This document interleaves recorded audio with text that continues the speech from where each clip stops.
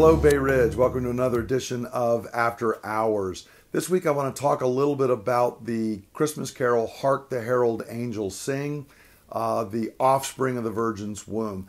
Uh, one of the things I love about this time of year here in Advent and at Christmas is some of the great Christmas carols. They are full of incredible theology. And one of my favorites is Hark the Herald Angels Sing. And one of the verses it says, Christ by highest heaven adored, Christ the everlasting Lord.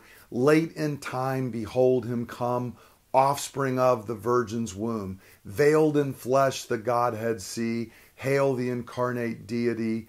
Play, pleased as man with men to dwell. Jesus our Emmanuel.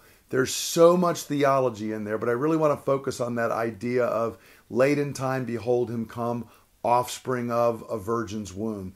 This is referencing the great promise in Scripture that the seed that was going to come was in fact going to come through a virgin. And the root, uh, the, the very seed of this promise regarding this offspring is all the way back in Genesis 3.15. When God gives the promise to Eve, it's, it's part of the curse on the serpent, but implicit in it is a promise to Eve.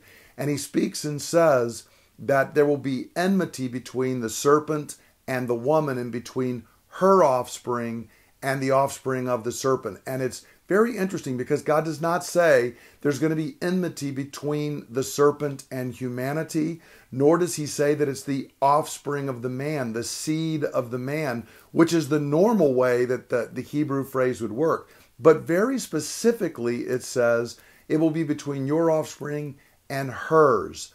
It's the offspring of the woman. Now, many people reading that promise early in Israel's history would have thought, well, maybe this is a paraphrase. It's just talking about being a human.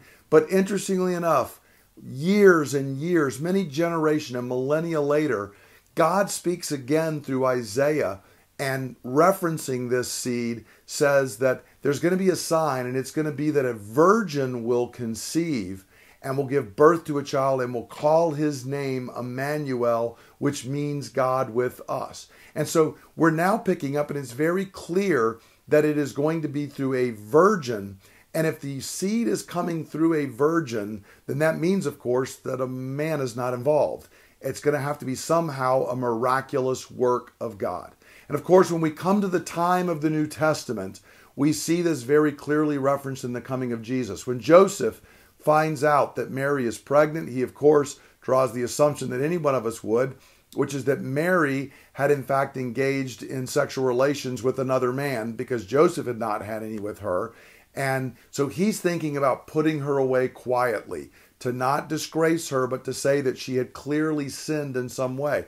But the angel appears to Joseph in a dream and says, No, this is not what's happened. In fact, she is conceived by the power of the Holy Spirit and we are told that this is to fulfill the word that God had spoken to Isaiah the prophet that the virgin would conceive, would give birth to a son, and they would call him Emmanuel, which means God with us. What an amazing promise. It traces all the way back to Eve through the prophet Isaiah, and we now find that it is fulfilled in the Virgin Mary, that God Himself has come to us through Jesus Christ. There's a great picture that you can see coming up on the screen now, and we'll actually have it on our Facebook post later on this week. What an incredible picture.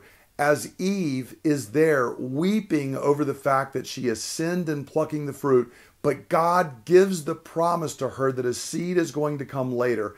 That seed comes through the Virgin Mary, and we can see Eve with her hand resting on the womb of Mary as Jesus is still in her. And notice at the bottom, Mary is crushing the head of the serpent because the seed that is going to come is going to do battle and he is going to crush the head of the serpent. And because he has, we are saved.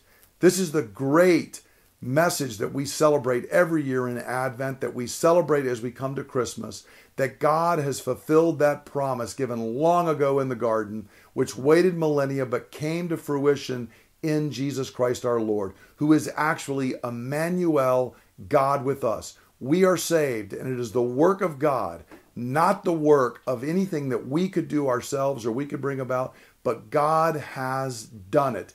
He has come, and we are saved. I hope this is an encouragement to you this week. I look forward to us worshiping together this Sunday on Christmas Eve, both in the morning and in the evening, as we celebrate the fulfillment of the promise and how we can receive it. I hope you have a great Christmas Eve and Christmas week. This is our final after hours of the year. We will not be doing one next week, but I encourage you to have a great time and celebrate, for He has come. God bless. Thank you.